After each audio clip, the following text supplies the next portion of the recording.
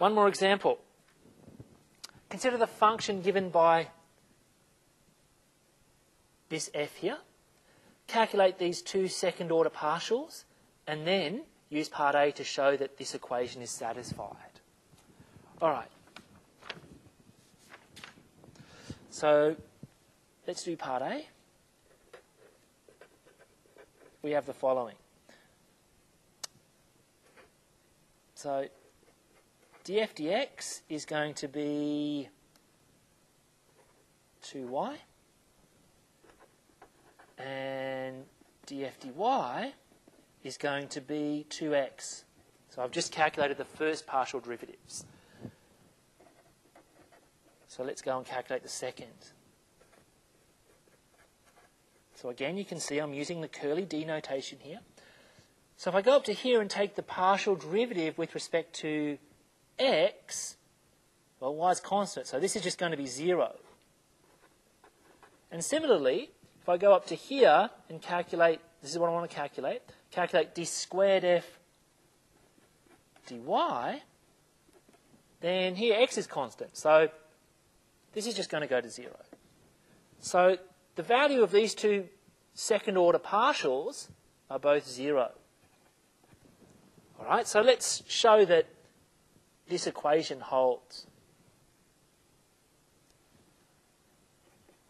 So the left-hand side of 1, it's d squared f dx squared plus d squared f dy squared. And then from A, we know that this is 0 and this is 0. And so we get 0 which of course is the right hand side of 1.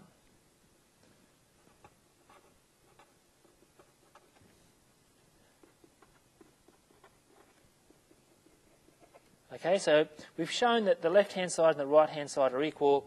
Therefore, what does it mean? This function must satisfy this equation. Right, now this equation here is known as a partial differential equation. Okay, now in, in particular, it's known as Laplace's equation. Okay, so we call it a, a partial differential equation or a PDE because it's an equation and it has partial derivatives inside it.